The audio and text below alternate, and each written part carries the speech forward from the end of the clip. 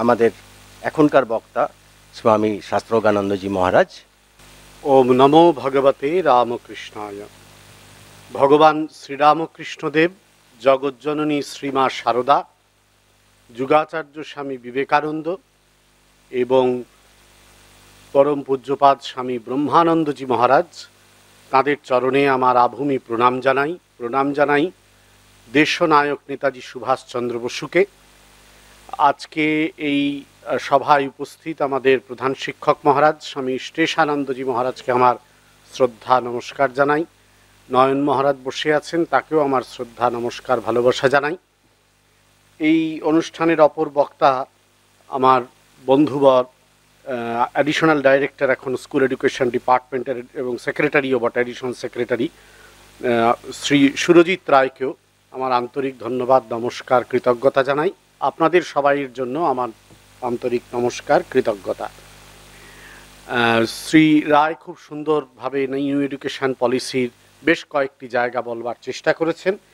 এর আগে পূজনীয় সর্বলোকানন্দজি মহারাজ এবং আমাদের মাস্টারমশাই জয়ন্তবাবু, তারাও অনেক কিছু বলেছেন। নিউ এডুকেশন পলিসির সঙ্গে শুরু থেকে একটু সত্যিকারের কথাই আমার যোগাযোগ হয়ে গিয়েছিল। প্রথম যখন এটা নিয়ে চিন্তা ভাবনা শুরু হলো পলিসি বের হওয়ার অনেক আগের কথা বলছি, তখন আমি ওই ন্যাক- ছিলাম, ন্যাকের বডিতে ছিলাম। সেই সময় মিনিস্ট্রি অফ এডুকেশন আয়োজন করেছিল একটা নিউ এডুকেশন পলিসির যে কোর কমিটি শ্রীরঙ্গনজি ছিলেন, শ্রীধর ছিলেন, এদের সবার সঙ্গে ইউজিসির এক্সিকিউটিভ কমিটি ন্যাকের আর এআইসিটির আমাদের একটা মিটিংয়ের আয়োজন করেছিলেন প্রায় দেড় দিন ধরে মিটিং হয়েছিল। কীভাবে কি করা যায়? স্কুল এডুকেশন থেকে শুরু করেই সবটা। আর সিবিএসই বোর্ড ছিল। তো স্কুল এডুকেশন থেকে শুরু করে সবটা নিয়েই তখন অনেক আলোচনা হয়েছিল। বেশ ভালো মনে আছে। নিঃসন্দেহে সেই সব আলোচনাগুলোর সবগুলো এখানে প্রবেশ করেনি। করা আমার মনে হয় সম্ভবও ছিল না। দ্বিতীয় পর্যায়ে আরেকবার এই কস্তুরীরঙ্গনজি এবং তার টিমের সঙ্গে আমাদের আলোচনা হয়, সেটা বেলুর মঠে। যখন প্যান্ডেমিক চলছে, যখন এই নিউ এডুকেশন পলিসি নিয়ে কাজ শুরু হচ্ছে ড্রাফট একটা বেরিয়েছে, আরও আলোচনা চলছে। তখন স্কুল এডুকেশন ডিপার্টমেন্ট যে কয়েকটি স্টেক হোল্ডারের কাছে ন্যাশনাল লেভেলের যেসব এডুকেশন নিয়ে কাজ করা স্টেক হোল্ডারদের কাছে পাঠিয়েছিল তাদের এই কমিটিকে, তাদের মধ্যে রামকৃষ্ণ মিশন ছিল একটি। রামকৃষ্ণ মিশনের হেডকোয়ার্টার্সে বেলুর মঠে আমাদের পূজ্য, পূজ্যপাদ সাধারণ সম্পাদক মহারাজ ও সহ সাধারণ সম্পাদক মহারাজদের উপস্থিতিতে আমাদের প্রায় একটা চোদ্দ পনেরো জনের যারা আমরা এডুকেশন সেক্টরে আছি বা এই সব পলিসিগুলো নিয়ে ভাবনা চিন্তা করি স্কুল হায়ার এডুকেশন সর্বত্র তাদের সঙ্গে ওদের একটা মিটিং হয়। সেটাও প্রায় আমার যতদূর মনে আছে, তিন থেকে সাড়ে তিন ঘণ্টার একটা টানা মিটিং হয়েছিল। সেখানেও আমরা কিছু প্রস্তাব দিয়েছিলাম এবং সেই প্রস্তাবগুলোর মধ্যে অনেকগুলো গৃহীত হয়েছে। পুরোপুরি গৃহীত হতে পারে, হয়নি বা গৃহীত হতে পারেনি। সেগুলো আমি অতটা ইনিউমারেট করছি না। তৃতীয় পর্যায়ে আরও একবার ওরা এসেছিলেন ফাইনাল ড্রাফটটা বের হওয়ার আগে। সেবারেও অতজন আমরা না থাকলেও পাঁচ ছজন আমরা ছিলাম, সেখানেও আলোচনা হয়েছে। আমাদের রামকৃষ্ণ মঠ মিশনের পক্ষ থেকে নিউ এডুকেশন পলিসি তৈরির সময় আমাদের সাজেশান লিখিত আকারে দুবার পাঠানো হয়েছিল। এবং ওরা সেটা অ্যাকনলেজও করেছিলেন, দুবারই সেটা অ্যাকনলেজ করেছিলেন। তার কিছু কিছু জিনিসকে ওরা হয়তো গ্রহণের চেষ্টা করেছেন বা ভবিষ্যৎ পরিকল্পনার মধ্যে রেখেছেন। স্কুল এডুকেশনের ক্ষেত্রেও বটে, হায়ার এডুকেশনের ক্ষেত্রেও বটে। এখন এই সব দিক থেকে করার পরে, এরপর যখন এই নিউ এডুকেশন পলিসি ফাইনাল স্টেজে এলো এবং সেটা বেরোলো, সেটা দেখে আমাদের সবার মনেই কিন্তু কিছু প্রশ্ন জেগেছে, সংশয় জেগেছে। শ্রী রায় যেটা বলছিলেন বা জয়ন্তবাবুরাও যেটা বলছিলেন, সেটা খুব সত্যিকারের কথা যে একটা পলিসি ধরুন তৈরি হয়, কিন্তু সেই পলিসিটা তৈরি হয়ে গেলেই যে সব হয়ে গেল তা কিন্তু নয়। সেটাকে প্রয়োগ করার ক্ষেত্র থাকে। এটা খুব গুরুত্বপূর্ণ জায়গা। একটা আমাদের মতন এত একটা বড় দেশ এদেশে তো নরেন্দ্রপুর রামকৃষ্ণ মিশনের সংখ্যা খুব কম। নরেন্দ্রপুর রামকৃষ্ণ মিশনের স্কুল, এরকম আমি স্কুল এডুকেশনেই এখন এবার থেকে চলে আসব, আর হায়ার এডুকেশন নিয়ে কিছু বলব না। নরেন্দ্রপুর রামকৃষ্ণ মিশন স্কুলের মতন স্কুলের সংখ্যা খুব কম সারা ভারতবর্ষে। কি অর্থে কম? একটা এই যে পরিকাঠামো ইনফ্রাস্ট্রাকচার সেই অর্থে কম। এরক- এরকম ভালো ইনফ্রাস্ট্রাকচার বহু স্কুলেই, অধিকাংশ স্কুলেই নেই। হ্যান্ডফুল মাইনরিটি তারা, এর যেই সব স্কুলে রয়েছে সারা ভারতবর্ষে। দ্বিতীয়ত, আরেকটাও যেটা, সেটা হচ্ছে খুব ভালো একটা লিডারশিপ এবং গভর্নেন্স সেটাও কিন্তু একটা ডিসিপ্লিনড গভর্নেন্স এবং ডিসিপ্লিন লিডারশিপ এটা খুব গুরুত্বপূর্ণ। এই যে একটা শৃঙ্খলা পরায়ণ নেতৃত্ব এবং প্রশাসন, এটা বলতে বোঝায় যে নেতৃত্ব এবং প্রশাসন যারা, যাদের সঙ্গে কাজ করে, যত স্টেক হোল্ডারদের সঙ্গে, তাদের সবার অসন্তোষকে হজম করতে সক্ষম। তার কারণ প্রশাসনে অসন্তোষ তৈরি হবেই। এবার প্রশাসককে এই অসন্তোষ হজম করতে হয় এবং অসন্তোষের চোখে চোখ রেখেই কিন্তু তাকে কাজ করে যেতে হয়। এটা এই জন্য প্রশাসনের আমরা সহজ বাংলায় বলি বুকের পাটা থাকা দরকার। তো সেই বুকের পাটাটা রামকৃষ্ণ মিশনের প্রতিষ্ঠানগুলোর অনেক বেশি আছে। এই কিছুদিন আগে, এই কয়েকদিন আগেই আমাদের রামকৃষ্ণ মিশনের একটি স্কুল, আমি নাম করছি না, তারা একটা সিদ্ধান্ত নিয়েছে। সেই সিদ্ধান্ত নিয়ে একটু তোলপাড় লেগে গিয়েছিল। মানে প্রশাসনিক সিদ্ধান্ত নিয়েছে। এবার সেটাতে কিন্তু স্টিক করে থাকা হলো। আমরা বললাম ইয়েস একজন আমাদের বলেছেন যে তারা আদালতে যেতে পারেন। আমরা আমরাও তাদের বলে দিলাম, নিশ্চয়ই সেখানেই আপনার সঙ্গে আমাদের দেখা হবে। আজ পর্যন্ত অবশ্য তারা যাননি, গেলে নিশ্চয়ই দেখা হবে। এখন এই যে একটা সিদ্ধান্তকে আমরা মাথায় রাখছি, নিচ্ছি, এই জায়গাটা কিন্তু রামকৃষ্ণ মিশনের স্কুলগুলো বা নরেন্দ্রপুরের মতন স্কুলের রয়েছে। তৃতীয়ত অবশ্যই শিক্ষককুল রয়েছে, ডেডিকেটেড। অধিকাংশ ক্ষেত্রে রামকৃষ্ণ মিশনের অধিকাংশ প্রতিষ্ঠানে অধিকাংশ শিক্ষকরাই অত্যন্ত নিবেদিত প্রাণ, শিক্ষক এবং শিক্ষাকর্মী। আমি কিন্তু শুধু শিক্ষক এটা কখনো বলি না, শিক্ষাকর্মীদের একটা বিরাট গুরুত্ব আছে। একটা স্কুলের ইনফ্রাস্ট্রাকচারকে মেনটেন করার ক্ষেত্রে, তার পুরো সিস্টেমটাকে এগিয়ে নিয়ে যাওয়ার ক্ষেত্রে শিক্ষাকর্মীদের ভূমিকা অসম্ভব রকমের গুরুত্বপূর্ণ। তো এই শিক্ষক এবং শিক্ষাকর্মীর নিবেদিত প্রাণ সে এটা কিন্তু সব জায়গায় পাওয়া যায় না। মজা করে জয়ন্তবাবু বলছিলেন দুটো বই পড়ার কথা। হ্যাঁ এই কথাটা কিন্তু বাইরের বহু প্রতিষ্ঠানের ক্ষেত্রে অত্যন্ত বেদনাদায়কভাবে সত্য। রামকৃষ্ণ মিশনের কিছু শিক্ষকের ক্ষেত্রেও হয়তো সত্য, কিন্তু বাইরের ক্ষেত্রে এটা খুব বেদনাদায়কভাবে সত্য হয়। তো এইটা একটা, চতুর্থ অবশ্যই একটা কিন্তু আমাদের মনে রাখতে হবে যে আমরা কোন ধরনের ছাত্রদের নিই। আমাদের নরেন্দ্রপুর বা পুরুলিয়া বা রহরা এই রকম স্কুলগুলো কিন্তু আমরা যে ধরনের ছাত্রদের নিই, তারা কিন্তু বেশ উচ্চমানের ছাত্র। সেটা আমাদের দোষ নয় মানে এটাকে নেগেটিভ ভাববেন না কিন্তু। মানে এটা আমরা নিতে বাধ্য, কিছু করার নেই। এখন আপনি একটা অ্যাডমিশন টেস্ট নিলেন, আপনি যদি সবচেয়ে কম নাম্বার পেয়েছেন, সেই ছেলেটিকে নেন সিলেক্ট করেন, ভর্তির জন্য আপনি নিতেই পারেন। কিন্তু প্রশাসন থেকে বা বাইরের জগৎ থেকে সবাই বলবে একই একই রকম সিলেকশন প্রসেস এরকমটা হয় নাকি? আর ঘরে বাইরে যত রসনা আছে, তার সমস্ত রস বিষ হয়ে ঝরে পড়বে। হ্যাঁ তখন হেডমাস্টার মহাজকে শুনতে হবে, স্কুলটাকে গোল্লায় দিল। হ্যাঁ এই তো ন্যাচারাল ব্যাপার ডিম্যান্ড অফ দ্য সোসাইটি আপনাদের মেধার ওপর থেকে নিতে হবে। এখন এই জায়গায় দাঁড়িয়ে যখন আমরা সমস্ত ভারতবর্ষের স্কুলগুলোকে নিয়ে একটা শিক্ষানীতির কথা ভাবি, তখন সেটা খুব জটিল হয়ে দাঁড়ায়। শিক্ষানীতিতে এখন যে জায়গায় এনে ওরা দাঁড় করাবার চেষ্টা করেছেন। সেখানে এমন অনেক কথা বলেছেন, এটা আমরা খুব নিশ্চিত। আমরা যারা সেই সময়ে ছিলাম এখনও কিছু কিছু ক্ষেত্রে যাদের সঙ্গে কথাবার্তা হয় আমরা খুব নিশ্চিত যে বহু ক্ষেত্রেই কিন্তু এর সবগুলো রূপায়িত হবে না। না হলেও যে খুব বেশি অসুবিধা আছে তা নয়। তার কারণটা হচ্ছে এই দেখুন, একটা নীতি বা একটা একটা নীতি যখন প্রণয়ন করা হয়, তার পেছনে স্বপ্নটা থাকে। সেই স্বপ্নটাকে বাস্তবায়িত করার চেষ্টায় তো নীতিটা প্রণয়িত প্র- প্রণয়ন করা হলো। এবার সেটা যে এক মুহূর্তেই একটা নীতিতেই রূপায়িত হবে তা কিন্তু নয়। হ্যাঁ সেটা রূপায়িত হতে কিন্তু আরও অনেক সময় লাগবে। আমি আপনাদের আপনারা অনেকে জানেন রাধাকৃষ্ণান কমিশনের কথা, ভারতবর্ষের প্রথম শিক্ষা কমিশন কিন্তু। তাঁরা তাদের শিক্ষা কমিশনে যে কয়েকটা জিনিস বলেছিলেন, সেগুলো কিন্তু এই নিউ এডুকেশন পলিসিতেও নতুনভাবে নিয়ে আসা হয়েছে। বেশ কয়েকটা ক্ষেত্রে। যেমন এই যে ভারত সংস্কৃতির চর্চার কথা, এটা রাধাকৃষ্ণন কমিশন কিন্তু বলে গিয়েছিলেন খুব গুরুত্ব দিয়ে যে স্কুল লেভেল থেকে তৈরি করতে হবে। অদ্ভুত একটা চিঠি আছে, যতদূর সম্ভব সেটা লিখেছিলেন রাধাকৃষ্ণানি তখনকার মানে কোনো একজন মানে উচ্চ মানে শিক্ষামন্ত্রীকেই মনে হচ্ছে লিখেছিলেন বা শিক্ষার আধিকারিককে লিখেছিলেন। আপনারা রাধাকৃষ্ণনের যে চিঠিপত্র আছে তাতেও পেয়ে যাবেন। এটা আমরা অন্যত্র এর সোর্সটা পেয়েছি। সেখানে রাধাকৃষ্ণন বলছিলেন যে এটার জন্য সরকারকে উদ্যোগী হতে হবে এইভাবে যাতে বেশ কিছু এরকম সেন্টার, কেন্দ্র তৈরি হয়, যারা ভারতের প্রাচীন সংস্কৃতিগুলো নিয়ে আলোচনা করবে। পরবর্তীকালে ইন্ডোলজি নিয়ে অনেক বেশি হইচই শুরু হলো, ইন্ডোলজিক্যাল সেন্টার দু একটা তৈরি হলো। কিন্তু এই এখন ইন্ডিয়ান নলেজ সিস্টেম আইকেএস সংক্ষেপে যেটা অ্যাব্রিভিয়েশনের কথা বলছিলেন, এই এই জাতীয় কিছু সেন্টার কিন্তু কেন্দ্রীয় সরকার তৈরি করছে। এবং মজা হচ্ছে ইন্ডিয়ান নলেজ সিস্টেমের যে সেন্টারগুলো তৈরি করা হচ্ছে, সেগুলো কিন্তু শুধুমাত্র শিক্ষা প্রতিষ্ঠানে হবে না। ধরুন, রামকৃষ্ণ মিশন আশ্রম নরেন্দ্রপুর। তারা মনে করল আমরা এখানে ইন্ডিয়ান নলেজ সিস্টেমের একটা সেন্টার তৈরি করব, তারা করতে পারে। এবং সেখানে school college university technical education ITI সবাই যুক্ত হতে পারে। নানান রকম নলেজ শেয়ারিংয়ের ক্ষেত্রে বা নলেজ রিভাইভালের ক্ষেত্রে তারা কিন্তু যুক্ত হতে পারে। তো এইটা একটা মানে আমি বলতে চাইছি যেটা যে এই ভাবে সবটাই নতুন সেরকম কিন্তু নয়, অনেকগুলো পুরনো জিনিসও নিয়ে আসা হয়েছে। কিন্তু সবগুলোই যে রূপায়িত হবে এরকম ব্যাপারটা নয়। এবার আমার পরের আলোচনাটায় আসছি, যেখানে আমাকে সন্দীপন মহারাজ যেটা বলেছেন, প্রধান শিক্ষক মহারাজ, সেটা হচ্ছে মূলত রামকৃষ্ণ মিশন কীভাবে এই নতুন শিক্ষা নীতিকে গ্রহণ করতে পারে।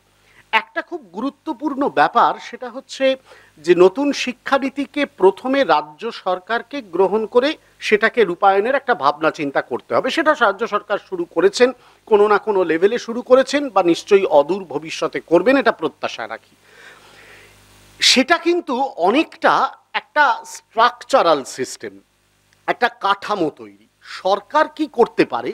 যে কোনো শিক্ষা ব্যবস্থায় সরকার একটা কাঠামো তৈরি করে দেয়। এই যে বলা হলো বা নিউ এডুকেশনে বলা হয়েছে তিন, চার, দুই, পাঁচ ইত্যাদি ইত্যাদি ইত্যাদি একটা প্রথম তিন বছর, তারপর চার বছর, তারপর আবার চার তিন বছর, তারপর আবার চার বছর একটা সেকেন্ডারি একটা আপার প্রাইমারি এইরকমভাবে একটা স্ট্রাকচার তৈরি করে দিচ্ছে। এটা সরকার করে দিল। এক। দুই, সরকার কি করতে পারে? আচ্ছা এন্ড ও এক্সামটা কীভাবে হবে? অ্যাসেসমেন্টের পদ্ধতিটা কীভাবে হবে? সেটা সরকার করে দিতে পারে। ঠিক আছে, কোনো অসুবিধা নেই। মানে কিউমিলিটিভ অ্যাসেসমেন্ট সামেটিভ অ্যাসেসমেন্ট নানান রকম এখন সব শব্দ এসছে, ধারণাও এসছে, খুব গুরুত্বপূর্ণ। সেটা সরকার করে দিতে পারে। সরকার আরেকটা কি করতে পারে? সরকার আমাদের বলে দিতে পারে যে ভোকেশনালাইজেশনটাকে একটু বেশি করে নিয়ে আসতে হবে। মানে এই ক্রেডিট সিস্টেম নিয়ে আসতে হবে। মার্কশিটের প্যাটার্ন বলে দিতে পারে। দেখুন, এগুলো সবগুলোই কিন্তু আসলে একটা ফর্মাল স্ট্রাকচার যেটা গভর্নমেন্ট থেকে আসে। কিন্তু খুব গুরুত্বপূর্ণ কয়েকটা জায়গা নিউ এডুকেশন পলিসি ধরবার চেষ্টা করেছে, কিন্তু সেটা বেশ অ্যাবস্ট্রাক্ট এরিয়া খুব বিমূর্ত জায়গা, যেটা কিন্তু তারা আসলে স্কুল শিক্ষা থেকে শুরু করবার কথা ভেবেছে। যেখানে শিক্ষকরা এবং শিক্ষকদের সঙ্গে ছাত্রদের সম্পর্ক, প্রতিষ্ঠানের সঙ্গে ছাত্রদের সম্পর্ক এবং এক একটা প্রতিষ্ঠানের সঙ্গে অন্য প্রতিষ্ঠানের সম্পর্ক, সেগুলো তৈরি হবে। জয়ন্তবাবু কিন্তু তার বলার মধ্যে ওই কয়েকটা জিনিস নিয়ে আসার চেষ্টা করেছেন। সেটা একটা খুব গুরুত্বপূর্ণ উনি যেটা ধরেছিলেন, সেটা হচ্ছে নলেজ শেয়ারিং আসলে নলেজ শেয়ারিং যে জিনিসটা বলা হচ্ছে, যেটা ওরা চাইছেন, সেটা হচ্ছে, ধরুন আপনার কাছে, এই নলেজ শেয়ারিংয়ের মধ্যে কিন্তু আপনার ইনফ্রাস্ট্রাকচারটাও পড়ে যায়। আপনার কাছে খুব আপনার খুব ভালো টেক্সট বই আছে। আপনার কাছে খুব ভালো শিক্ষক আছেন। আপনার কাছে হয়তো ভালো একটা ইনফ্রাস্ট্রাকচার আছে। তাহলে আপনি কি করতে পারেন? আমার এই নরেন্দ্রপুর স্কুল কি করতে পারে? নিশ্চয়ই সাঁত্রিশটা স্কুল ইত্যাদি, এটা তো একটা গুরুত্বপূর্ণ ব্যাপার। কিন্তু এটা হচ্ছে জাস্ট এক ধরনের ইনস্টিটিউশনাল সোশ্যাল রেসপন্সিবিলিটি যেমন কোম্পানি সোশ্যাল রেসপন্সিবিলিটি আছে সিএসআর সেরকম ইনস্টিটিউশনাল সোশ্যাল রেসপন্সিবিলিটির কথা এখন বলা হচ্ছে আইএসআর তা এটা কি করতে পারে এবার এর বাইরে গিয়ে স্কুলগুলো এই রকম ভালো স্কুলগুলোর কাছে ডিমান্ড করা হচ্ছে। মানে এটা কিন্তু আমাদের আলোচনায় সেই প্রথম থেকে বারবার উঠে এসেছিল। সেটা আমি ওই জন্যই বলতে পারি। স্কুলগুলো কি করতে পারে? ধরুন আপনার নিউ এডুকেশন পলিসিতে রাজ্য সরকার বলল যে, না না, আমাদের মাধ্যমিকের পরেও পরীক্ষা হবে, উচ্চ মাধ্যমিকের পরেও পরীক্ষা হবে, আমরা ওই সব প্রাইমারি টাইমারি ভাগ করব না। ভেরি গুড নো ইস্যু কিন্তু রাজ্য সরকার বলুক নাই, ছাই না বলুক আপনারা কিন্তু এই আইডিয়াটাকে গ্রহণ করতেই পারেন নলেজ শেয়ারিং আপনারা কি, আমরা কি করতে পারি রামকৃষ্ণ মিশনের স্কুলগুলো? যেহেতু আমরা একটু বেটার আমরা কিন্তু ধরুন এই একসঙ্গে আমরা গিয়ে কোনো আমাদের লোকালিটির যে একটু পরন্ত স্কুলগুলো, সেখানে গিয়ে সেই সব ছাত্রছাত্রীদের সঙ্গে আমরা ইন্টারাক্ট করতে পারি। আমরা কোনো একটা, একটু আগে সর্বলোকানন্দজি বলছিলেন না কোচিংয়ের এগেনস্টে এটার এগেনস্টে যেমন আছে কোচিংয়ের কিন্তু কোচিং সিস্টেমটা যে শুরু হয়েছিল, তার পেছনে কিন্তু অন্য আরেকটা তত্ত্ব আছে। স্বামীজি কিন্তু একটা জায়গায় খুব মারাত্মক একটি কথা বলেছিলেন যে ব্রাহ্মণের ছেলের যদি একজন শিক্ষকের প্রয়োজন হয়, চণ্ডালের ছেলের দশজন শিক্ষকের প্রয়োজন। কেন? তার কারণটা হচ্ছে কম মেধা সম্পন্ন মানুষ, তাদেরকে কিন্তু তুলে আনার দরকার আছে। এটা নিউ এডুকেশন পলিসি কিন্তু বুঝতে পেরেছে। আমাদের প্রথম থেকে এই আলোচনাটায় উঠে এসেছে যে কোয়ালিটিটাকে আমরা ডেভেলপ করবই, সেটাকে কোনোভাবে কম্প্রোমাইজ করা যাবে না। কিন্তু কোয়ালিটি ডেভেলপ করতে গেলে আমাকে কিন্তু কোয়ান্টিটিটার দিকেও নজর রাখতে হবে। এই যে দেখুন গ্রস এনরোলমেন্ট বাড়ানোর কথা বলছে। এটা খুব সুন্দর, আমাদের, আমার এখনও মনে আছে বেলুর মঠে যখন আমাদের মিটিং হয়েছিল, তখন আমাদের কস্তুরী রঙ্গনজি খুব সুন্দর আমাদের বলছেন বলছেন, স্বামীজি, এই যে গ্রস এনরোলমেন্ট বাড়ানো, এটা যে কি মারাত্মক হয়েছে? কোনো একটা স্টেটের নাম, আমি স্টেটটার নাম এখানে বলছি না রেকর্ড হচ্ছে। হ্যাঁ কোনো একটা স্টেটে বলছে গ্রস এনরোলমেন্ট বাড়িয়ে দিয়েছে। কোনো প্রবলেম নেই। প্রচুর দেখা যাচ্ছে, সেইটা স্টেটে গ্রস এনরোলমেন্ট বেড়ে গেছে কয়েক বছরে। তারপর গিয়ে দেখা যাচ্ছে যে গ্রস এনরোলমেন্ট বাড়লেও তাদের লার্নিং লেভেলটা খুব কম হয়ে রয়েছে। মানে হয়তো প্রাইমারিতে ঢুকেছে বা হয়তো সেকেন্ডারির প্রথম দিকে আছে, কিন্তু যে লেভেলে তাদের মিনিমাম লার্নিং হওয়ার কথা সেটাই হয়নি। তার মানে এই গ্রস এনরোলমেন্ট রেশিও বাড়ানোটা আসলে কিন্তু বাড়া হলো না। তার কারণ একটা পর্যায়ে গিয়ে দেখা যাবে ওই ছেলেটি বা ওই মেয়েটি ক্লাস নাইনে উঠল, ওঠার পরেও সে কিন্তু আসলে তার যে লিটারেসি থাকল, তার যে অ্যাকাডেমিক্স থাকল, সেটা কিন্তু থেকে গেল প্রি ওয়ান লেভেলে এটা কস্তুরী রঙ্গনজি আমাদের ওইখানে বলেছিলেন যে এই গ্যাপটা আমরা ব্রিজ করব কি করে? আমরাও দুশ্চিন্তায় পড়ে যাচ্ছি। এটা আমরা কি করে নিয়ে আসব? এখন আমাদের মতন এই প্রতিষ্ঠানগুলো সেই কারণেই কিন্তু অনেক দিন আগে একটা কল পরিকল্পনা করেছিল এবং এখনও সেটা চালায়। সেটা হচ্ছে কিছু ফ্রি কোচিং সেন্টার লোকালিটির বিভিন্ন জায়গায় যদি আমরা এগুলোকে স্টার্ট করতে পারি, আমাদের প্রমোশনে স্টার্ট করতে পারি, এটা কিন্তু একটা অদ্ভুত জায়গা। যেখানে আমার নলেজটাকে আমি শেয়ার করছি, ওদেরকেও কখনো কখনো নিয়ে আসছি আমার প্রতিষ্ঠানে। ধরুন আপনাদের একটা ভালো ল্যাব আছে। আপনারা নিশ্চয়ই এটা অ্যাকসেপ্ট করবেন যে আমাদের রামকৃষ্ণ মিশনের স্কুলগুলোতে নাইন টেন ইলেভেন টুয়েলভ লেভেলে যে ল্যাব ফেসিলিটি গ্রামের অধিকাংশ স্কুলে তার বিন্দু মাত্র নেই। আমি দেখুন হায়ার এডুকেশনে ছিলাম তো, আমার ভয়ানক বাজে অভিজ্ঞতা। মানে আমাদের মাস্টারমশাইরা বলতেন হায়ার সেকেন্ডারি পাশ করে এসেছে। বিশ্বাস করুন, একশোতে একশো পেয়েছে ফিজিক্সে এবার ফিজিক্সের সাধারণ যন্ত্রগুলো সে জানে না। নামগুলো ভুলে গেছে অধিকাংশ। ফিজিক্সে একশোতে একশো পেয়েছে উচ্চ মাধ্যমিকে। এবার তাকে যখন জিজ্ঞাসা করা হচ্ছে, সে বলছে যে, আমরা তো এই যন্ত্র কখনো দেখিইনি চোখে। হ্যাঁ আমাদের তো লিখেছি নাম্বার পেয়ে গেছে। নাম্বার কীভাবে পেয়েছে সেই প্রশ্ন করে আর লাভ নেই। কিন্তু মজাটা হচ্ছে যে, এটা তার তো দোষ নয়। এমনকি যে স্কুলটায় মাস্টারমশাই তাকে শেখাচ্ছে অনেক সময় মাস্টারমশাইয়েরও দোষ নয়। কোনোভাবে ইনফ্রাস্ট্রাকচার নেই। সেটা তৈরির জন্য আলাদা সিস্টেম তৈরি করতে হবে, আলাদা মানে এ নিতে হবে এন্টারপ্রাইজ নিতে হবে, সেগুলো আমি এখানে আনছি না। কিন্তু মূল যেটা, আমরা যেটা করতে পারি নিউ এডুকেশন পলিসি এই কারণেই এই নলেজ শেয়ারিংয়ের যায়। এটাকেই কিন্তু নলেজ শেয়ারিং বলছে। যে আমরা কিন্তু ডাইরেক্ট ওদের কাছে পৌঁছে যেতে পারি। এবং এটা রামকৃষ্ণ মিশনের মতন প্রতিষ্ঠান করতে পারে, এটা কিন্তু আমার খুব মনে হয়। এবং এটা করলে আপনারা যেটা শুরু করেছেন সেটা অনেকটা আইএসআর লেভেলে এটাকে একেবারে স্ট্রাকচার্ড নলেজ শেয়ারিংয়ে আমরা কিন্তু নিয়ে যেতেই পারি। আরেকটা যেটা, সেটা হচ্ছে খুব গুরুত্বপূর্ণরা বলেছেন যে আপ মানে টিচার্স নলেজের আপডেটিং এইটা সুরজিৎ বাবুও পয়েন্ট আউট করেছেন যে দেখুন, এই যে টিচার্স নলেজ আমাদের নলেজটা কিন্তু অনেক সময় একটা জায়গায় স্ট্যাগন্যান্ট হয়ে যায়। এটা খুব ঘটে। নরেন্দ্রপুরে হয়তো অতটা ঘটে না, নরেন্দ্রপুরের অনেক টিচারই হয়তো নিজেকে আপডেট রাখেন, কিন্তু এটা খুব ঘটে। স্কুলেও ঘটে, কলেজেও ঘটে, বিশ্ববিদ্যালয়েও ঘটে। এখন কলেজ বিশ্ববিদ্যালয়ে একটা প্রবলেম আছে। প্রবলেমটা এই কলেজ বিশ্ববিদ্যালয়ে এখন নিয়ম হয়ে গেছে, তেরো বছর বা পনেরো বছর পর্যন্ত নানান প্রমোশন হতে হতে যাবে, যেটা জয়ন্তবাবু খুব সুন্দর বলেছেন যে আমাদের প্রমোশন নেই। এই যে আমাদের প্রমোশন নেই, এটা যেমন আক্ষেপের এটা এটাও কিন্তু এটাই, এই আক্ষেপটাই কিন্তু একটা দুর্ভাগ্যের সূচনা করে। তার কারণ ওই প্রমোশন তো একটা ইনসেন্টিভ তার জন্য কলেজে এখন আমরা দেখছি অনেক টিচারই কিন্তু প্রথমেই তেরো পনেরো বছর নিজেকে আপগ্রেড করবার জন্য প্রচণ্ড চেষ্টা করছেন। এবং সত্যি সত্যি তারা খুব ভালো আপগ্রেড করতে পারছে নিউ জেনারেশন এটা আমরা খুব লক্ষ্য করছি। মানে শুধু রামকৃষ্ণ মিশনের কলেজ না, আমি দেখুন পশ্চিমবঙ্গের মোটামুটি দেড়শো দুশো কলেজে আমার ঘোরা হয়ে গেছে বা আমি যাই, সেখানে কিন্তু এটা খুব লক্ষ্য করতে পারছি। এই জায়গাটা কিন্তু স্কুল এডুকেশনে আসা উচিত এবং এই জায়গাটা নিউ এডুকেশন পলিসি মেনশন করেছে। আপগ্রেডেশন আপডেটিংয়ের যে জায়গাটা টিচারদের আনতে হবে, সেটা কিন্তু নিউ এডুকেশন পলিসি মেনশন করেছে। এইটা কিন্তু আমাদের যেন কারোর নজর না এড়িয়ে যায়। এবং এই ক্ষেত্রে ওই অনলাইন কোর্স প্রচুর রয়েছে। এখন কিন্তু এটাকে নাম দেওয়া হয়েছে MOOCs massive open online courses এটা স্বয়ং বা এনপিটিএল প্ল্যাটফর্মে স্কুল এডুকেশনের ক্ষেত্রেও কিন্তু প্রয়োজনীয় অনেক মানে এরকম কোর্স আপলোড করা হচ্ছে।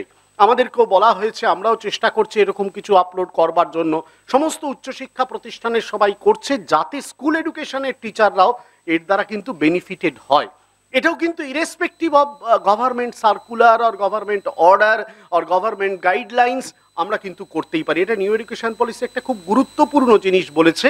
আমরা রামকৃষ্ণ মিশনের পক্ষ থেকে এই জায়গাটাকে একটা অ্যাডমিনিস্ট্রেটিভ স্ট্রাকচারে নিয়ে আসতে পারি। তৃতীয়ত আরেকটা খুব গুরুত্বপূর্ণ জিনিস বলি, সেটা সুরজিৎ বাবু রয়েছেন, আমার সুরজিৎ আমার বন্ধুবর রয়েছেন, উনি হায়ার স্কুল এডুকেশনে রয়েছেন, এটা কিন্তু আসবে, এটা আমি পরিষ্কার বলে দিচ্ছি। অনতিকাল পরেই এটা চলে আসবে। আপনারা জানেন, হায়ার এডুকেশনে অ্যাসেসমেন্ট অ্যাক্রেডিটেশন সিস্টেম এসছে। ইনস্টিটিউশনাল অ্যাসেসমেন্ট অ্যাক্রেডিটেশন, স্কুল এডুকেশনে আসছে, বি শিওর। স্কুল এডুকেশনে কিন্তু অ্যাসেসমেন্ট অ্যান্ড অ্যাক্রেডিটেশন সিস্টেম আসছে। যত দ্রুত আমরা সেটা বুঝতে পারি, তত ভালো। অ্যাসেসমেন্ট অ্যাক্রেডিটেশন সিস্টেম আসার পরে আমাদের হায়ার এডুকেশন সিস্টেমে বেশ কিছু পজিটিভ দিক দেখা গেছে। অবশ্যই দেখা গেছে। আপনারা বিশ্বাস করতে পারবেন না, আমি তো এই যেহেতু ন্যাকের প্রসেসের সঙ্গে খুব জড়িত, আমি অবাক হয়ে যাই মানে কয়েক কিছু মানে কলেজগুলোতে যখন যাই, কি তাদের চেষ্টা? হয়তো হান্ড্রেড পার্সেন্ট টিচারের নয়, কিন্তু সেভেন্টি থেকে এইট্টি পার্সেন্ট টিচার্স আমাদের কলেজে মানে একটা কলেজের আমি নাম বলছি মানে তারা কীরকম এ গ্রেড পাওয়ার চেয়ে point two per point two point zero two কম পেয়েছে। প্রিন্সিপাল সহ সাত আটজন টিচার আমার কাছে চলে এসে বললেন, আমরা অ্যাপিল করব। আপনি আমাদেরকে বলে দিন যে কোথায় কোথায় আমরা অ্যাপিল করলে স্কোর বাড়াবে। এ আমরা সহ্য করতে পারছি না।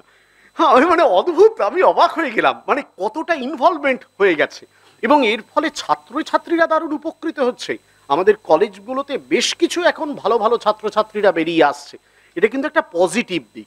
স্কুলগুলোতেও কিন্তু কোনো না কোনোভাবে অ্যাসেসমেন্ট সিস্টেম আসবেই। বস্তুতপক্ষে আমাদের একজন খুব আমার অত্যন্ত প্রিয়, শ্রদ্ধেয় একজন সন্ন্যাসী মহারাজ, যিনি দীর্ঘদিন টিচার এডুকেশনের সঙ্গে যুক্ত ছিলেন, এখনও আছেন স্বামী তত্ত্ব সারানন্দজি রামেন্দ্র মহারাজ। উনি নিজে আজ থেকে বেশ কয়েক বছর আগে, বছর ছয় সাতে, আগে দু হাজার ষোলো বা সতেরো সালে, উনি কিন্তু স্কুল অ্যাসেসমেন্ট এবং অ্যাক্রেডিটেশনের পুরো একটা প্যারাডাইম তৈরি করেছিলেন। এবং সেটা করে রাজ্য সরকার এবং কেন্দ্রীয় সরকারকে দিয়েছিলেন, তার অ্যাকনলেজমেন্টও কিন্তু এসছে। এবং মোটামুটি হয়তো সেটা নয়, আরও চেঞ্জ হবে, নিশ্চয়ই চেঞ্জ হবে, সেটা টাইমটা অনেক ব্যাক হয়ে গেছে, আরও নতুন কিছু আসবে। কিন্তু এটা আমি কিন্তু আপনাদের বলছি, খুব বেশি দূর হবে না যেদিন এই অ্যাসেসমেন্ট অ্যাক্রেডিটেশন সিস্টেমের সামনে আমাদের সমস্ত স্কুলকে পড়তে হবে। এবং আমার মনে হয় নিউ এডুকেশন পলিসির এটা একটা খুব বড় কন্ট্রিবিউশন হতে যাচ্ছে।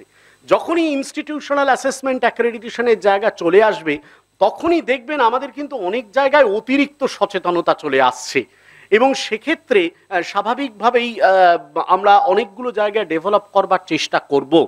এটাও আমার একটা মনে হয় রামকৃষ্ণ মিশনের প্রতিষ্ঠানগুলো হয়তো চেষ্টা করতে পারে। আমরা মাঝে মাঝে স্বপ্ন দেখি যে আমাদের রামকৃষ্ণ মিশনের প্রতিষ্ঠানগুলোর মধ্যে একটা অ্যাসেসমেন্ট অ্যাক্রেডিটেশন চালু করলে হয় কিনা। হ্যাঁ জানি না সেটা কি হবে। কিন্তু যাই হোক ন্যাশনাল লেভেল বা স্টেট লেভেলে এটাও কিন্তু একটা আসার জায়গা, এই তৃতীয় আরেকটা জায়গা। আরেকটা যেটা আমার মনে হয় খুব গুরুত্বপূর্ণ, সেটা এসেছে নিউ এডুকেশন পলিসিতে সেটা হচ্ছে এই অনেকবার এই কথাটা আজকের আলোচনায় উঠে এসেছে ভ্যালু এডুকেশন আপনারা যদি প্রথম ড্রাফটটা দেখে থাকেন, যেটা নিউ এডুকেশন পলিসিতে আমাদের সামনে বেরিয়েছিল, সেখানে ইম্পার্টিং ভ্যালু এডুকেশন সেটাকে কিন্তু খুব একটা গুরুত্ব দেওয়া হয়নি। পরবর্তীকালে এটাকে গুরুত্ব দেওয়া হয় এবং মোটামুটি আমি অনেক পরিসরে যা দেখেছি, হয়তো আরও অনেকেই পাঠিয়েছিলেন পাঠিয়েছিলেন আমিও জানি সেটা। কিন্তু রামকৃষ্ণ মিশনের পক্ষ থেকে যে ভ্যালু এডুকেশন ইম্পার্ট করার জন্য যে ডকুমেন্ট পাঠানো হয়েছিল, তার ম্যাক্সিমামটাকে কিন্তু এখানে গ্রহণ করা হয়েছে। হ্যাঁ ম্যাক্সিমামটাকে গ্রহণ করা হয়েছে। সবটা হয়নি। সেইটা হয়তো কিছু বদ্ধ বা অবদ্ধ কারণের জন্যই হয়তো সেটা হয়নি। কিন্তু অনেকটা পরিমাণে গ্রহণ করা হয়েছে। এবং এইটা আরেকটা বড় গুরুত্বপূর্ণ জায়গা আসছে, যেখানে স্কুল লেভেল থেকে এই মানে যে মূল্যবোধের যে শিক্ষা, সেই শিক্ষাটাকে একেবারে কম্পালসারি মেথডে কম্পালসারিভাবে নিয়ে আসা হবে। এক্ষেত্রে একটা ব্যাপার আছে, সেটা আমরা আসলে যেটা ভেবেছিলাম যেরকমভাবে ভেবেছিলাম সেরকমভাবে পুরোটা আসেনি।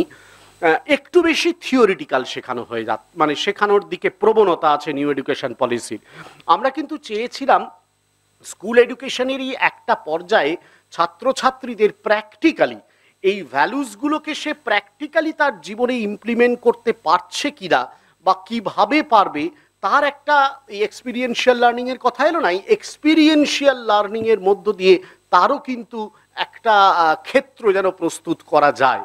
সেইটা এখনও পর্যন্ত আসেনি।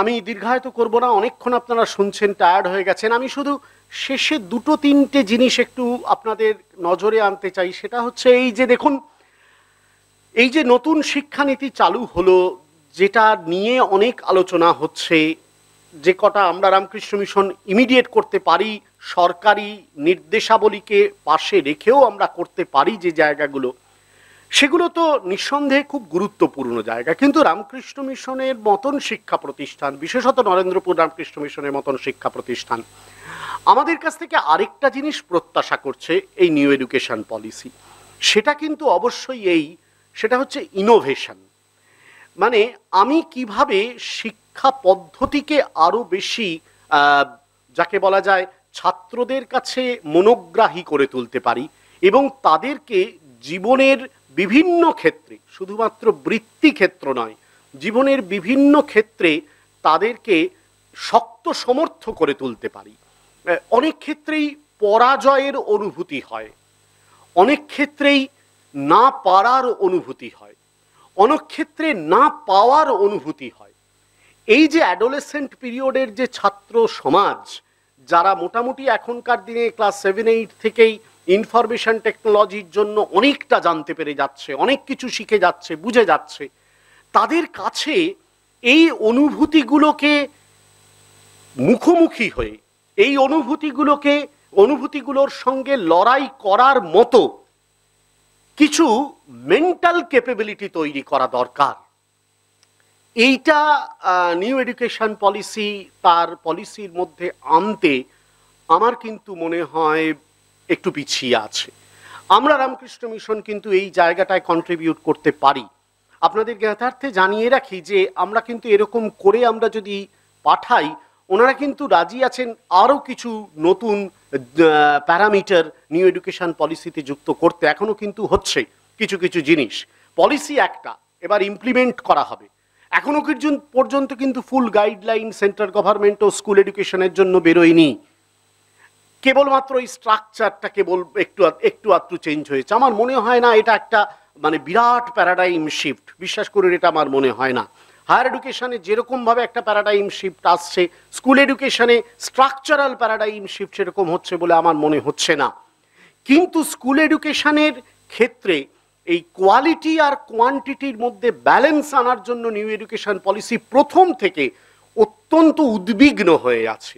এবং সেই উদ্বেগটা ধরা পড়ছে যখন ওরা কিছু পলিসির ভিত্তিতে কোনো ডকুমেন্ট তৈরি করতে যাচ্ছেন, সেই উদ্বেগটা ধরা পড়ছে। তার কারণ কখনো কখনো ওরাও বুঝতে পারছেন যে যে যে ফাঁকগুলোর জন্য যে যে ত্রুটিগুলোর জন্য আমাদের পূর্বতন নিউ এডুকেশন পূর্বতন এডুকেশন পলিসি বা এডুকেশন কমিশনের রেকমেন্ডেশনগুলো স্কুল এডুকেশনের ক্ষেত্রে সার্থক হয়নি, সেই একই জায়গায় ওরা গিয়ে কিন্তু পৌঁছে যাচ্ছেন।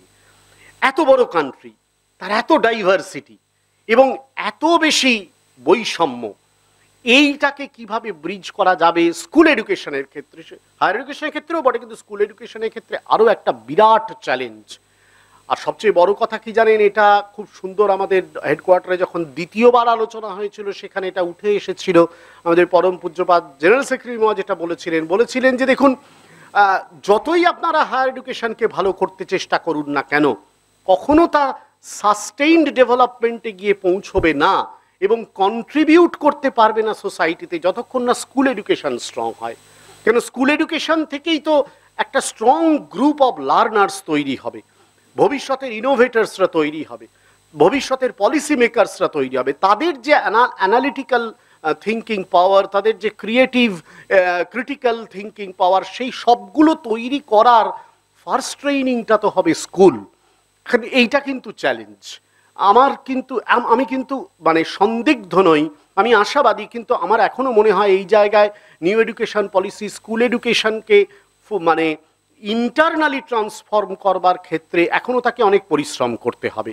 এক্সটার্নাল ট্রান্সফরমেশন বিশ্বাস করুন, কিচ্ছু নয়। ইন্টারনাল ট্রান্সফরমেশন অ্যাবস্ট্রাক্ট হলেও সাবজেক্টিভ হলেও অত্যন্ত গুরুত্বপূর্ণ বিশেষত স্কুল এডুকেশনের ক্ষেত্রে। সেখানে new education policy has not evolve is still evolving এখনও ইভলভ হচ্ছে। And here comes the last point for Ramakrishna Mission school specially school likes Narendrapur যারা কিন্তু নিজেরা চিন্তা ভাবনা করে নতুন কিছু বার করতে পারে, যাতে এই স্কুল এডুকেশনের ইন্টারনাল ট্রান্সফরমেশনটা অনেক বেশি এফেক্টিভ হয় এবং অনেক বেশি সমাজের কাছে যাতে, যাকে কল্যাণকর হয়ে ওঠে। আমরা কিন্তু সেই দিকে চেষ্টা করতে পারি। আপনাদের কাছে আমার অনুরোধ, আপনারা কিন্তু সেই দিক থেকে ভাবুন। মানে আপন হতে বাহির হয়ে বাইরে দাঁড়া বুকের মাঝে বিশ্ব লোকের পাবি পাবি সারা এতদিন পর্যন্ত নরেন্দ্রপুর রামকৃষ্ণ মিশনের এই স্কুল তার নিজের ছাত্রদেরকেই খুব বড় করে এসেছে, ভালো করে তুলেছে। আমাদের অহংকার আমাদের স্কুলকে নিয়ে, যা আমাদের ছাত্ররা খুব ভালো, আমাদের স্কুল খুব ভালো। আমাদের অহংকারের বৃত্তটা বড় হোক যে সেখানে আমাদের স্কুল ভালো এই কারণে যে আমরা আরও অনেককে ভালো করে দিতে পারছি, যারা আমাদের কাছে আসতে পারেনি তাদেরকেও। এই অহংকারে আমরা যদি পৌঁছতে পারি, ঠাকুরের কাঁচা আমি থেকে পাকা আমিতে যাওয়াটা তখনই কিন্তু আমাদের ধীরে ধীরে সম্ভব হবে। ধন্যবাদ, নমস্কার।